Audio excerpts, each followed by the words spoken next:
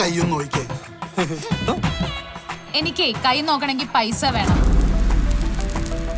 ഇവരെ ആ കോളനിയുടെ കൂട്ടത്തിൽ ഇടരുത് കേട്ടാ ഇവൾക്കാണ് പറഞ്ഞ വീട്. ഈ താമരക്കാണെങ്കിലേ ഞാൻ ഏറ്റു.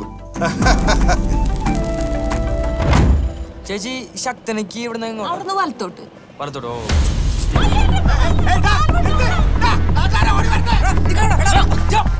പോക്കറ്റടിയും മാലവടികളൊക്കെ ഇപ്പൊ അവന്റെ തൊഴിൽ.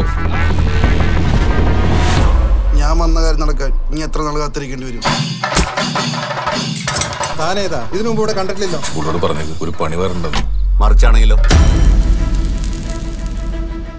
എന്താണ് നിനക്ക്? പോലീസ് എന്ന് പറഞ്ഞ ഒരു പുച്ഛം.